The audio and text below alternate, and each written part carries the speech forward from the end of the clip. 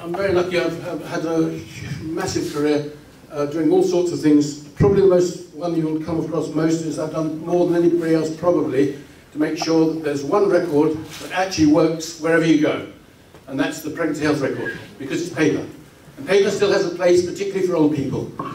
But the other thing problem, we've got, we've got a massive incompatibility problem. Everywhere you go, you have a pick list that's got fixed options. And no, there's no computer program on earth that will link uh, the way that one computer program has a fixed pick list to another one. In fact, the whole of the, every database exists is incompatible. If, if you pass those around, you can see the basic problem everywhere. My solution over the last four, four or five years is, first of all, it started off by saying, every old person needs a paper record. My mum needs a paper record. It used to be I used to go and see her old paper record, and uh, I could see what was going on. Now, everyone is on an incompatible database electronically, which doesn't work most of the time. And so what I, what I started doing was,